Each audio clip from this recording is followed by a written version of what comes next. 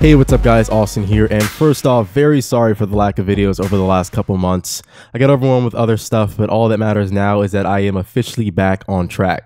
With that said, here is my very late review of the HTC One M8. Very special thanks to the folks over at AT&T for sending this out for review. Make sure you check out the link in the description if you're interested in buying one. So right off the bat, I'll say that this is one of my favorite phones of the year. Granted, we're only halfway through.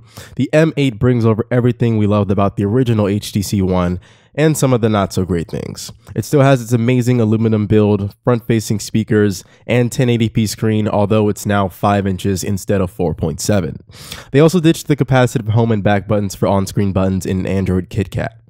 On the inside, there's a 2.3 gigahertz Snapdragon processor coupled with a 2600 milliamp hour battery that surprisingly lasts all day. Like its predecessor, the M8 has an amazing build quality and feels extremely solid in the hand. The fully metal build can make the phone feel a little bit heavy at some times, but the curves and tapered edges make it really comfortable to hold in the hand. Like mentioned before, the phone runs Android 4.4 with HTC's Sense skin slapped right on top of it. It's what I've come to expect from Sense, but I was a little disappointed to see that the dedicated Google Now page was replaced with BlinkFeed, which is basically just a less responsive version of Flipboard. Another thing I was a little disappointed by was the camera quality, although it did make up for itself with some unique features. This is HTC's 4 megapixel UltraPixel camera with dual LED flash. It also has a 2 megapixel depth of field sensor right above it that allows you to adjust the focus right after you take a picture. The camera has different modes like panorama, 1080p video recording, and selfie mode, but the best part of the camera is definitely that depth sensor.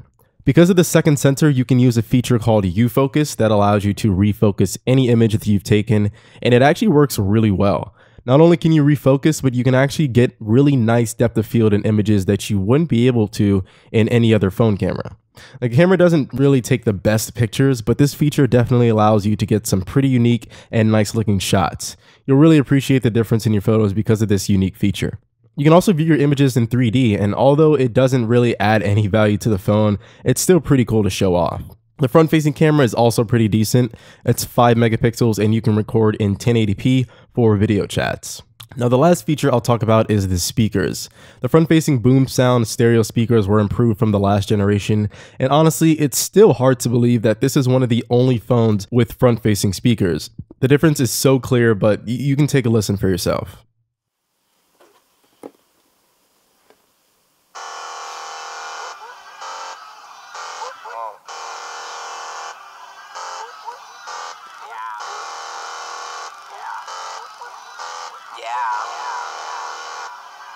Oh.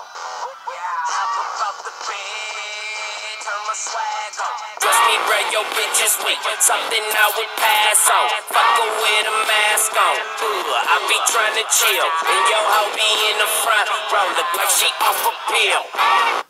Now, because this review came so late, I only really focused on the highlights of the phone, but as you can see, the HTC One M8 is a really solid phone in most regards. It improved on mostly everything from the last generation one, and it is a pretty solid update on the line. In fact, if I were to rate it, I'd probably have to give it an M8 out of 10. Anyways, let me know your thoughts in the comments below. Did you guys pick up an M8 or are you leaning more towards the S5 or the G3? If you guys like the video, be sure to throw me a thumbs up and subscribe if you haven't already. Thank you so much for watching and I'll catch you guys in the next video.